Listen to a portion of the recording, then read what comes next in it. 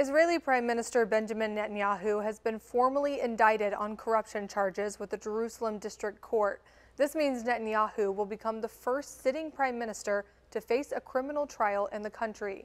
Israel's attorney general filed the indictment Tuesday. Netanyahu's been charged with bribery, fraud, and breach of trust in three separate cases. The first case alleges he provided regulatory favors to the shareholder of an Israeli telecom giant in exchange for favorable coverage. The second case alleges the prime minister and his family wrongfully accepted lavish gifts from two wealthy businessmen.